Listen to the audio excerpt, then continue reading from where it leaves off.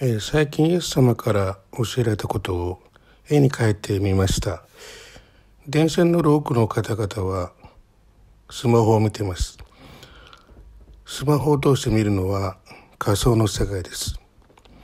それから日本ではアニメとかゲームが流行っていますがこれらのことによって、えー、そういうものを見ることによって現実を直視しなくなるということです。仮想世界に心を向けている現代人。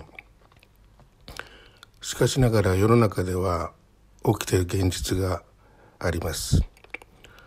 ロシア・ウクライナの戦争。それからワクチンによる多くの方々の死亡。地球温暖化。自然災害があります。それらのことは現実に起きているにもかかわらずそれを避けようとして仮想世界に時間を使ってしまう。そんな状況でいいんでしょうか。